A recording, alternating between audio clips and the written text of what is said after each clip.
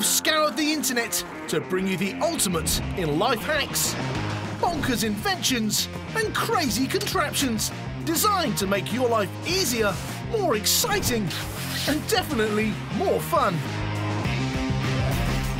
And we've summoned a team of experts with science brains and funny bones to explain everything. From the ridiculous to the sublime.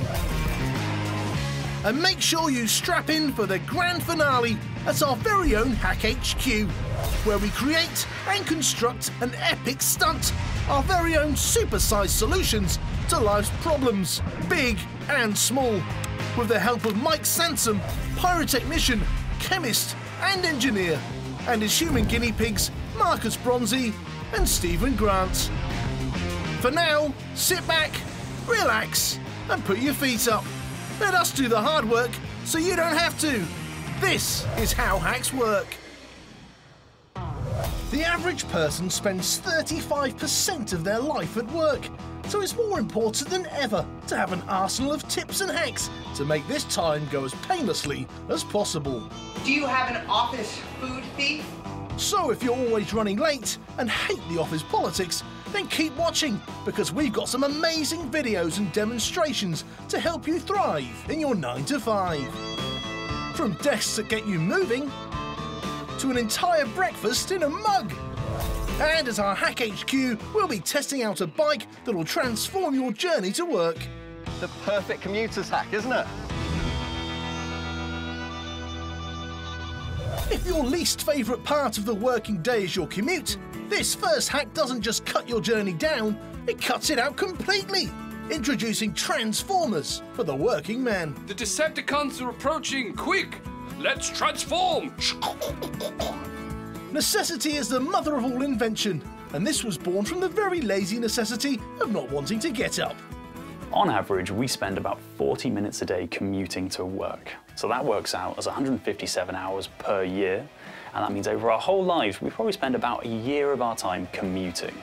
What's perhaps more shocking about this is we probably spend over 150,000 euros just on commuting in our lifetime. People who say you can sleep when you're dead don't understand just how amazing sleep is. A Dreamfield hack hit. If you're one of the 834 billion people who have to wear a tie to work, this next hack could help you fit in that much needed extra cup of coffee in the morning. Twist, pull, round. No. Twist it round, up through. No. Over the hand, spin it. Spin it twice. Yeah, then do the thing like that, and then just do that, and then simply do the other thing, and voila! Easy, yeah?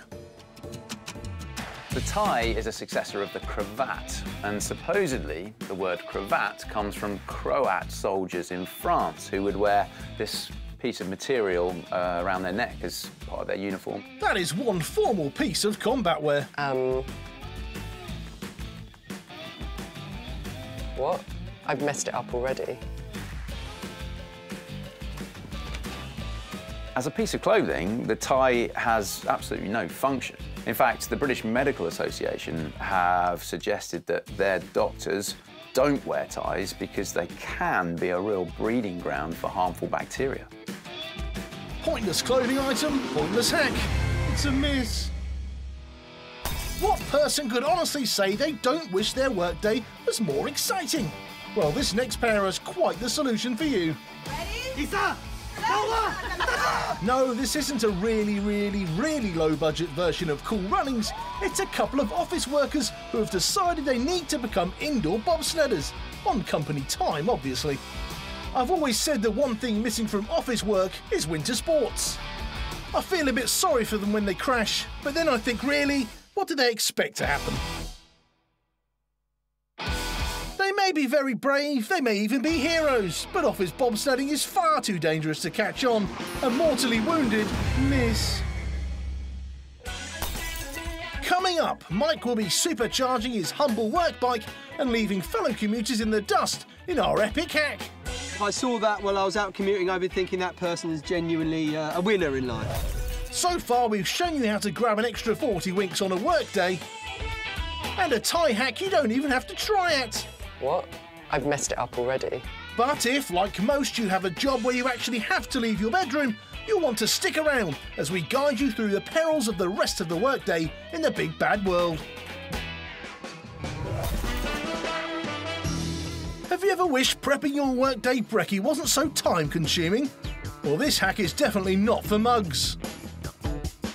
Actually, it is for mugs, because we're showing you how to cook the perfect omelette in one.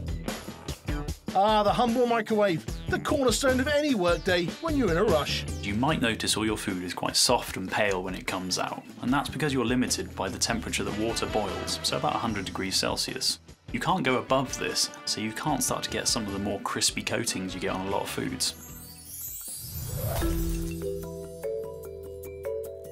Ready meals, mug cakes, poached eggs, and steamed veg. The microwave is the perfect tool for cooking food quick. But how? The microwaves are created behind a fan before being pushed through a grill. Tough start. It's like a big metal microwave disco in there. To make sure that your food heats up evenly, the microwave plate spins, making sure that all of the food passes through the hot spots and heats up. Instead of bouncing off the food, microwaves can travel through until they hit water molecules in the food where they're absorbed. Mmm, radiation. Don't worry, it's totally safe. You're not going to turn into Microwave Man or anything. This gives the water molecules extra energy and makes them vibrate. It's that vibration that we feel as heat. The vibrating water molecules bump into other molecules and pass energy onto them too, spreading the heating effect. This is the reason you have to let your food stand after heating. You need to allow time for the heat to spread completely through it. So microwaves are good at cooking eggs, but what about other things? When you boil vegetables on a hob, some of the water-soluble micronutrients in the vegetables actually leach out into the water around it. Where in a microwave, because you've not really got that much water in it, there's a much lower risk of that happening. So it can be argued cooking your vegetables in a microwave is healthier. But now, back to the eggs. Eggs, I just think eggs are, are absolutely fantastic. They are the perfect packaged food. This cracking omelette hack proves fast food can be healthy. A microwave miracle and a workday hack hit. The writing's on the wall with this next top tip. Actually, it's on the whiteboard, but you get the idea. You can whitewash your whiteboard mistakes with a little help from some alcohol. Not that kind. all of the dry erase marker that I used up here will not come off. So a little hack that I have for you is get yourself a little uh, paper towel and get some rubbing alcohol. Um, what is rubbing alcohol?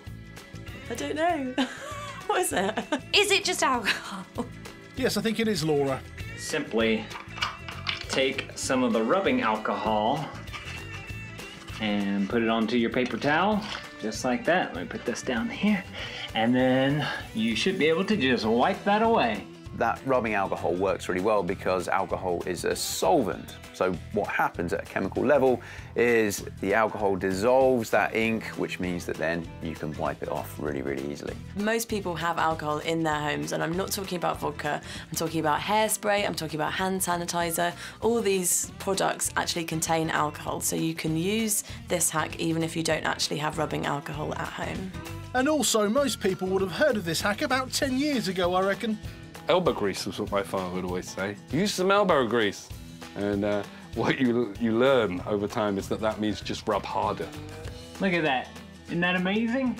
My definition of the word amazing is completely different to this guy's. Did you know you can remove permanent marker with alcohol? Of course you did, because you haven't been living in a cave for 30 years. A fairly wide of the marker, miss. This next hack puts an end to lunchtime bandits in the workplace once and for all. Do you have an office food thief? Well, we have the answer to stop him from stealing your food. Are you ready?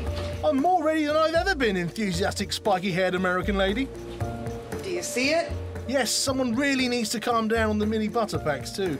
My sandwich. This clever bag has green tints that look like mould to keep your co workers disgusted enough to stay away. Good. Don't worry. It's just the bag. It may look like it has mold, but it doesn't. It kind of ruins your food because even though it's not been affected by mold, in my head, if I were to go to eat it, I would imagine I was eating mold. So I, I've psychologically ruined my lunch. The reason humans find mold disgusting is actually an evolutionary protection measure. It means that when we see something that's probably going to make us ill, we don't want to eat it. This mouldy mechanism will finally make Linda buy her own lunch. Yes, I'm talking to you, Linda. A hack hit. Right, it's time to head to Hack HQ. This time, Mike is planning on pimping up some pedals to make a brute of a commute a lot more enjoyable. Mike, Stephen. are we going on a bike ride? Or something like that, yeah. I'm up for that, but I'm a little bit curious of your steed of choice. This looks like something from the 1970s. How are you going to ride this? It's got pull brakes. It looks like the sort of thing you should be delivering onions to a French village on. Very droll, Stephen. Yeah, so this is our work hack, right? OK. Yeah. This is my commuter's bike. This is going to get me from A to B, back home, really, really fast. I'm a little concerned because it's you, though, Mike. Mm-hmm. Why are there fire extinguishers on the back of the bike? So these things are going to propel me really, really fast. How? Let me show you.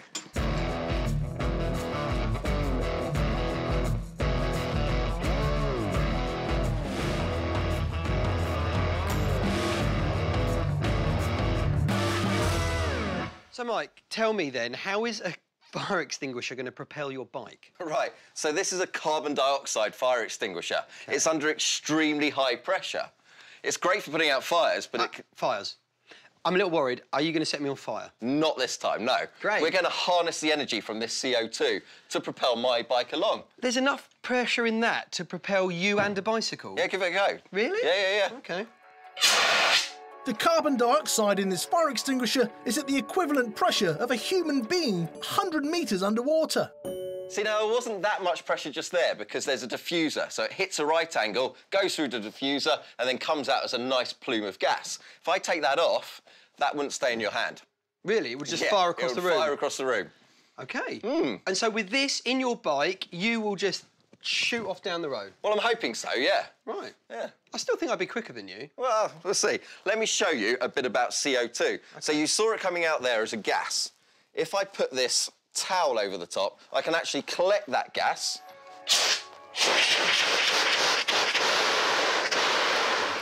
This plume of gas is extremely cold, so much so that it freezes water droplets in the air, forming ice.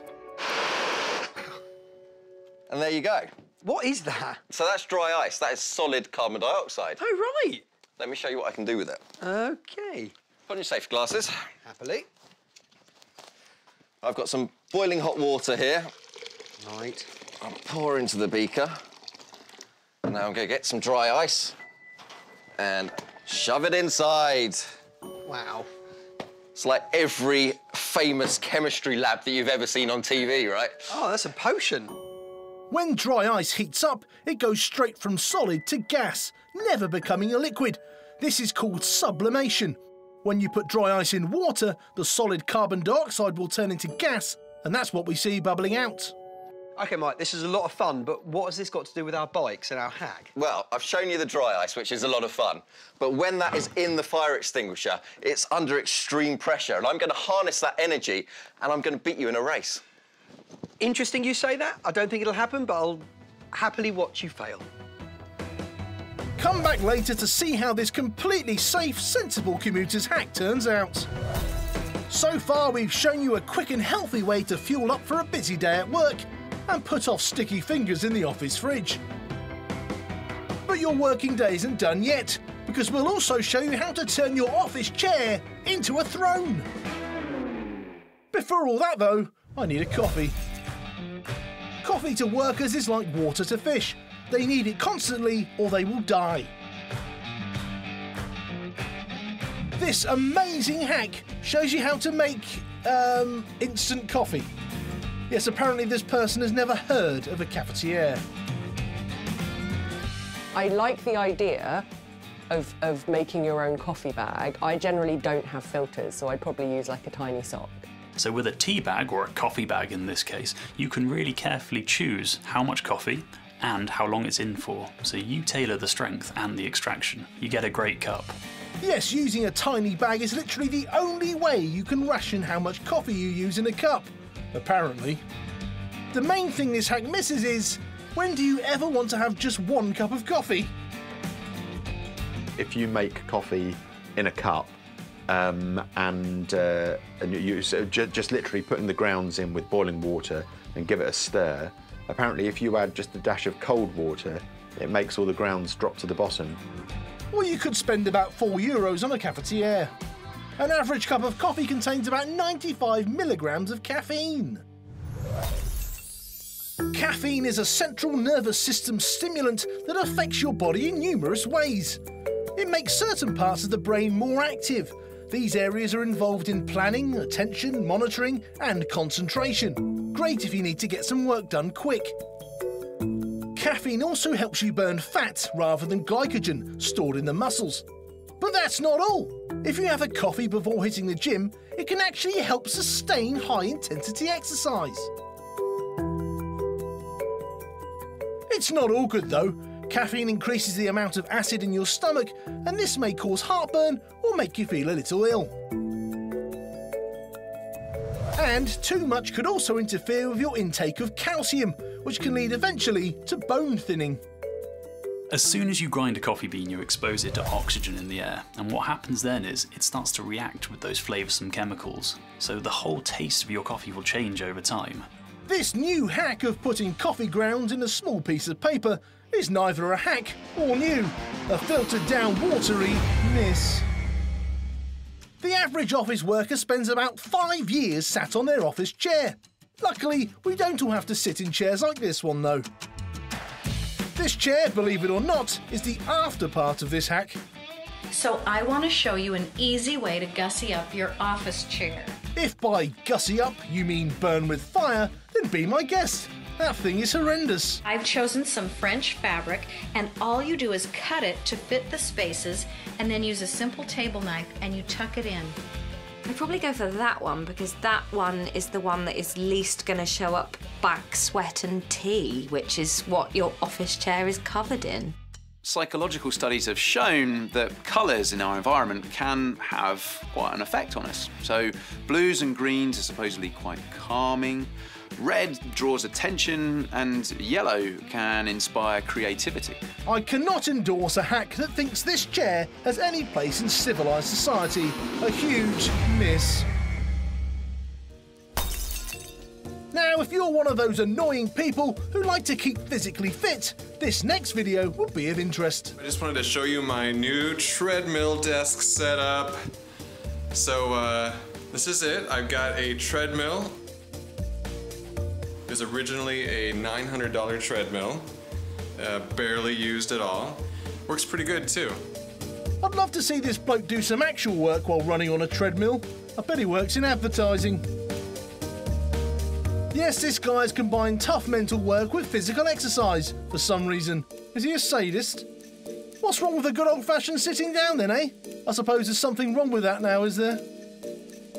I was also a bit worried about the possibility of maybe motion sickness, because if you're trying to concentrate on a screen but your head and body are moving constantly, then this could be a problem as well. What I like to do is pull my duvet around me like a cocoon, like right up to here, but with my arms out like a T-Rex and just sort of work like that and have my laptop really high up.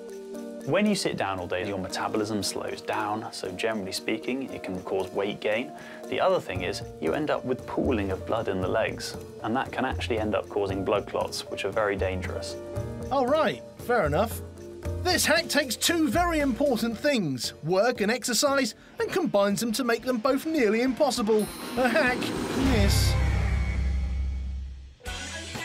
The clock hits six and it's time to start that long, boring commute home.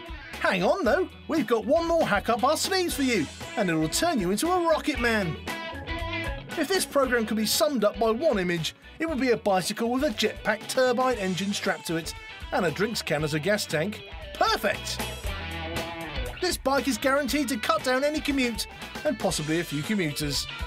It has been shown in studies that a commute of over 30 minutes can significantly decrease our productivity at work. I'd definitely have a go on the jet bike.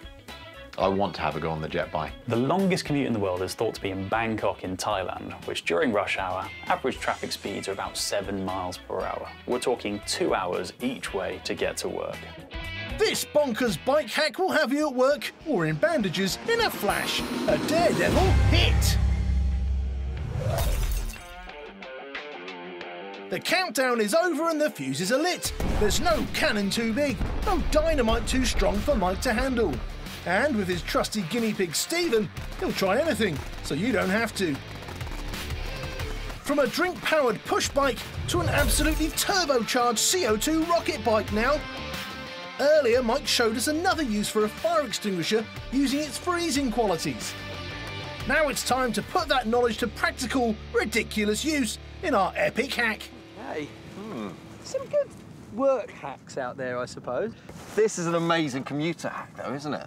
Yeah, and you know what? Commuting needs hacks, I think, because it's such a large chunk of the day. I used to work 40 minutes drive away from where I lived every day. 10 years I did that job, going back and forth. It was an hour and 20 minutes. And I worked out, and I lost a year and a half of my life just sat in a car doing nothing and then walking from the car park, dull as dishwater. Oh. Do you want a hug, Stephen? Rubbish. Right, should we put it to the test? Race time.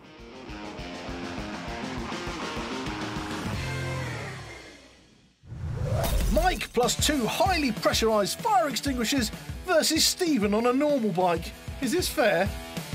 Brakes at the ready, this could get dangerous. In three, two, one, off we go. Time to freeze rubber. Mike's bike is now travelling at an impressive 40 miles per hour. If Stephen was going to switch into another gear, now would be the time.